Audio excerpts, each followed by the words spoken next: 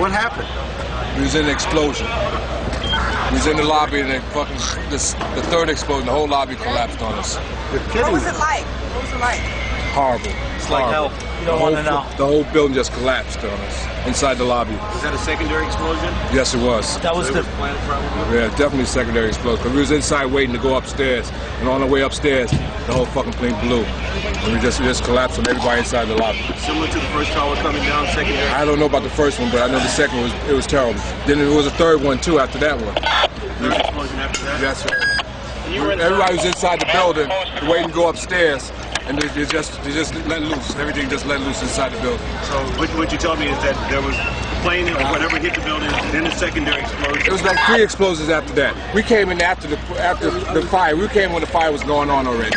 We was in the staging area inside the building, waiting to go upstairs. And it, then it exploded. And the, whole, the whole lobby collapsed on the lobby inside.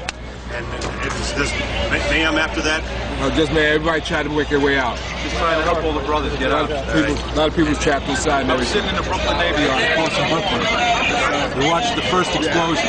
As we're watching the building, saw a black, very large airplane fly right into the second building. Came out of the south, right, right in front of our eyes. Just, I know, at least three or four. it, it was so surreal, like a movie set. Second, second and third explosions also, right? We were in the building for the third one. It collapsed. I was on this drive here for the other one. people that understand. There may be more. Any one of these fucking buildings could blow up. This ain't done yet. How does this This is this is on top of this. This couldn't be no worse than this. Couldn't be nothing, nothing no more worse than this. You're in the building trying to help people, and it's exploding on the inside the building. So I don't think it can get any worse than this.